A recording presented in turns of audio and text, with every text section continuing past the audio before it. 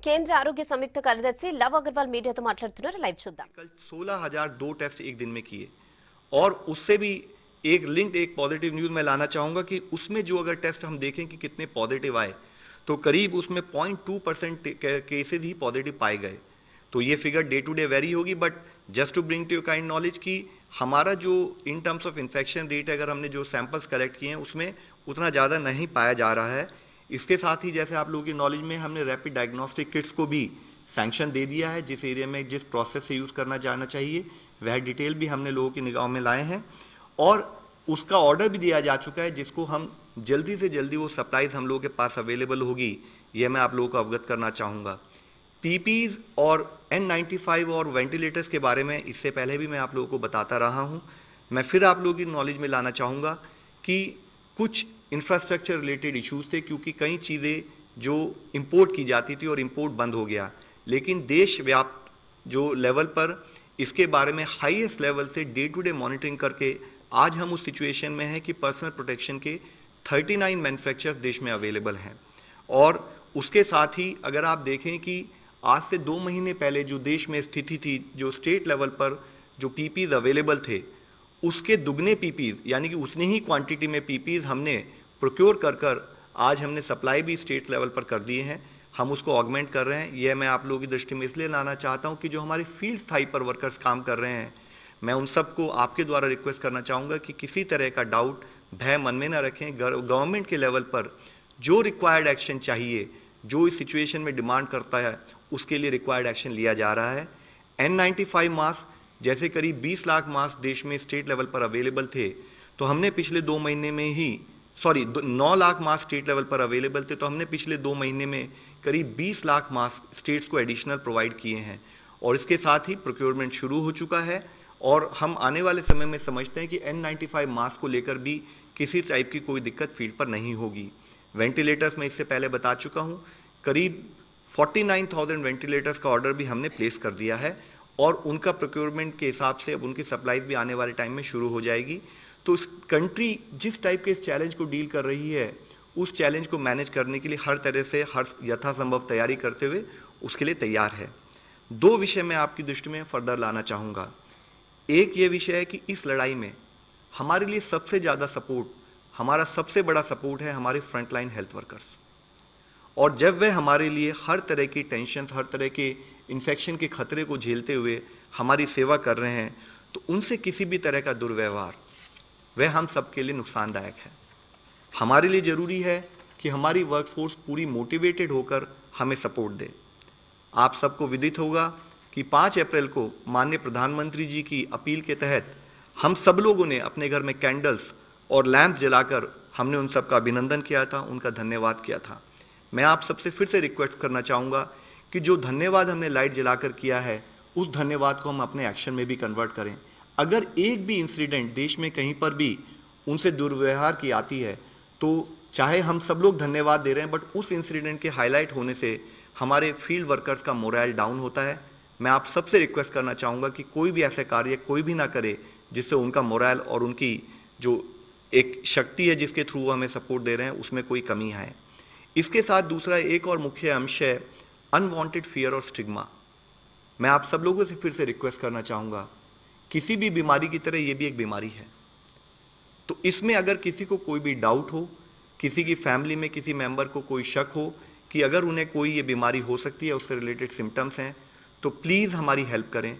Help us to help you is what I been requesting all the time आप हमें बताएँ, कोई भी सिम्टम का अनुभव होने पर हम यथासंभव आप सबके साथ मिलकर उस बीमारी का, उसको टेस्टिंग करा के, उसको कैसे हम निजात पा सकते हैं, उस पर हमें कलेक्टिवली काम करना है। इसमें किसी भी टाइप का डाउट ना रखें।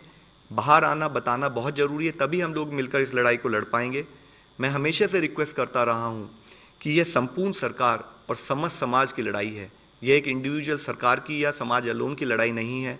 आप सबकी नॉलेज में है कि पूरा देश ही नहीं, पूरी दुनिया इस लड़ाई से आज जूझ रही है। हम जितना कलेक्टिव होकर इस लड़ाई को लड़ेंगे, उतना ही बढ़िया ढंग से हम इसे जीत पाएँगे। और जैसे कि माननीय मंत्री जी कहते आ रहे हैं कि यह लड़ाई है जिसमें हमें सोशल वैक्सीनेशन का इस्तेमाल करना है सोशल डिस्टेंसिंग के रूप में। और इस लड़ाई के लिए आप सबसे मेरी विनती है कि हम अपने देश की तरफ़ से एक एग्ज़ाम्पल पूरी दुनिया को ये दिखाएँ कि देश मिलकर लड़ा और इस लड़ाई से जीत चुका है। धन्यवाद। धन्यवाद। आईसी मेयर रिप्रेजेंटेटिव नमस्कार। आईसीएमआर की तरफ़ से दो अपडेट है। पहला अपडेट है टेस्टिंग के बारे में। जैसा कि बताया चुका कि we currently have 213 laboratories that includes 146 labs in public sector and 67 labs in private sector कल रात नौ नौ बजे तक एक lakh forty four thousand nine hundred ten samples were tested from one lakh thirty thousand seven ninety two suspected patients जिसमें से 5,705 where positive कल सोलह हज़ार दो सैंपल्स टेस्ट किए गए and this has been substantial increase over last few days दूसरा update है टेस्टिंग स्ट्रैटेजी के बारे में।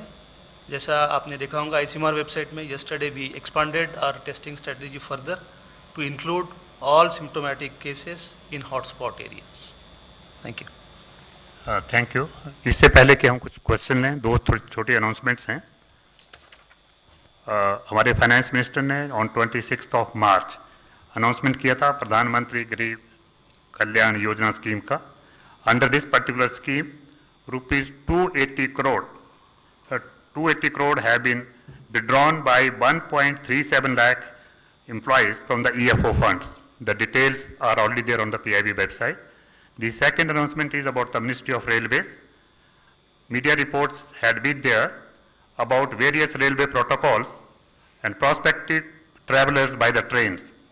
This premature reporting is leading to unnecessary and avoidable speculations All concerned would be intimated at appropriate time. So, first question from Nitendra.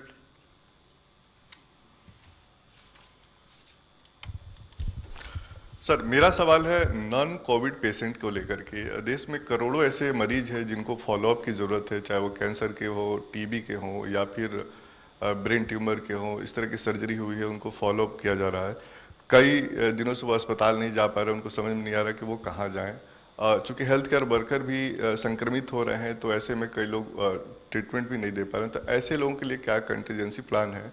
Second जो सारी का report है ICMR सवाल है कि सारी का जो रिपोर्ट है, उसमें यह है कि 40 परसेंट लोगों का कोई ट्रैवल हिस्ट्री नहीं, कोई कॉन्टैक्ट हिस्ट्री नहीं है, जो आपकी रिपोर्ट है। तो उसका क्लेरिफिकेशन जरा जी। सर एज फार एज जो हमारे बाकी पेशेंट्स हैं, जो आज या जो हमारे लोग लॉकडाउन की स्थिति में घर पर हैं, उसके लिए हम लोगों ने, और साथ में स्टेट लेवल पर भी बहुत सारे प्रयत्न चल रहे हैं। हम ये नहीं चाहते कि वह लोग बाहर निकलें और किसी भी तरह से इन्फेक्शन उनको लगे। तो उसके लिए हम लोग टेलीमेडिसिन और उस टाइप के डिफरेंट प्रोसेस के थ्रू उनको सपोर्ट प्रोवाइड कर रहे हैं। हमने इससे पहले भी कहा है इसेंशियल सर्जरीज के अलावा इलेक्टिव सर्जरीज को पोस्टपोन किया जाए और बाकी टाइम आप अपने घर पर रहते हुए treatment through different ways particularly using technology आप उसको प्राप्त करें। दूसरा, जैसे कि आपने आईसीएमआर की स्टडी के बारे में बताया, मैं फिर आप लोगों की दृष्टि में लाना चाहूँगा। अगर देश में कम्युनिटी ट्रांसमिशन होगा तो we will be the first one हम ही आपको आके पहले बताएँगे, क्योंकि हमारे लिए ज़रूरी है कि हम आपके नॉलेज में लाएँ कि देश में कम्युनिटी ट्रांसमिशन हो चुका है, और इस कारणवश हम सबको एक्स्ट्रा और एडिशनल अलर्ट रहना पड़ेगा। मैं दो फिगर्स आप लोगों की दृष्टि में लाना चाहूँगा। एक, जैसे मैंने कहा कि अगर सोलह हज़ार टेस्ट कल हुए देश में जो कि अक्रॉस द कंट्री हुए, उसमें करीब 320 ही पॉजिटिव आए। तो यानी कि 0.2 परसेंट केसेज ही पॉजिटिव आए। दूसरा पॉइंट मैं आप लोगों की दृष्टि में लाना चाहूँगा, ये स्टडी जिसमें बताया गया है कि हमने अगर सारी केसेस यानी कि रेस्पिरेटरी इलनेस के केसेस की रैंडम सैंपलिंग अगर देश में की है तो उसमें करीब 1.8 परसेंट केस पॉजिटिव आए हैं। तो इसमें आपको ये समझना होगा कि ये 1.8 परसेंट पॉजिटिव जो केसेस आए these are from the our VRDL labs जो हमारी वीआरडीएल लैब्स प्राइमरली उन्हीं एरियाज़ में लोकेटेड जहाँ पर ऑलरेडी केसेस पाए जा चुके हैं। इस स्टडी में आपको कहीं पर भी ये नहीं लिखा है कि ये ऐसे एरिया में आया जहाँ सिंगल केस भी नहीं पाया गया। तो ये उन्हीं एरिया में पाए गए हैं जहाँ केसेस पाए गए हैं। वेरी फैक्ट कि अगर ये स्टडी इंडिकेट करती है कि कुछ पर्टिकुलर केसेस में कॉन्टैक्ट की ट्रैवल हिस्ट्री नहीं है कॉन्टैक्ट हिस्ट्री नहीं है तो it only needs further investigation कि हम उसकी कॉन्टैक्ट हिस्ट्री को फर्दर लोकेट करें। और साथ में जैसे आप लोगों की नॉलेज में, इससे पहले भी मैं बता चुका हूँ, कुछ हमारे एरियाज़ हैं जहाँ केसेस का नंबर थोड़ा बढ़ जाता है। तो उन केसेस में कई बार कॉन्टैक्ट ट्रेसिंग सही ढंग से हो नहीं पाती। तो फिर मैं आप लोगों की दृष्टि में लाना चाहूँगा, देश में अभी कम्युनिटी ट्रांसमिशन नहीं है, उतनी भय की स्थिति नहीं है, लेकिन फिर भी हमें अवेयर रहना है, हमें अलर्ट रहना है और रिक्वायर्ड डूज एंड डोंट्स को फॉलो करना है। Next online question. 17 days of lockdown and number of fresh cases continue to rise each day in the range of 700, raising doubts if the virus has reached community transmission stage or not. I think uh, it's more or less on the same lines. We can skip this question. No, Uh, can I- is Mr. Can I, can I add on to that? So